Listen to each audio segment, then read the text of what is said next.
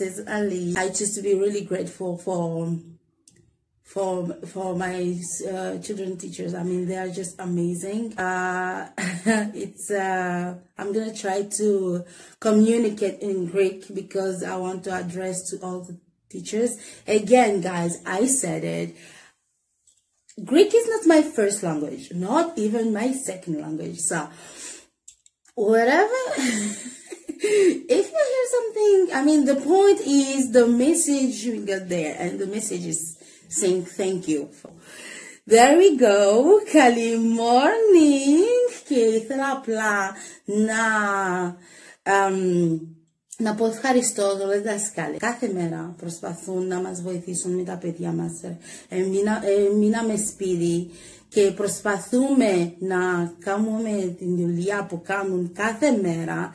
Για μένα, ου, έχω δύο μωρά, 8 και 6 χρονών και α, δεν είναι και τόσο εύκολο ε, δεν είναι και τόσο εύκολο να, ας πούμε, να προσπαθώ να τους βοηθήσω. Ναι, το κάνω επειδή πρέπει να το κάνω. Πολλές φορές ε, μου λέει η κόρη μου, μα, μα δεν είναι έτσι που είπε η δασκάλα, μα δεν είναι έτσι που εξηγάει η δασκάλα.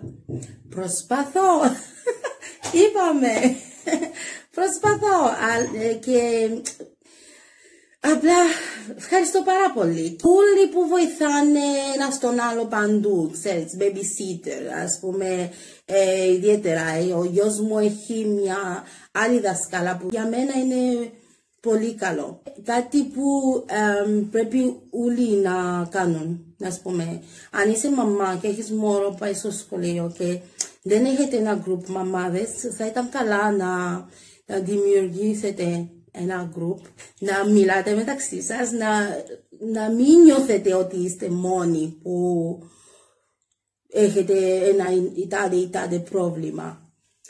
Επειδή στο τέλος ε, χρειαζόμαστε ένα στον άλλο.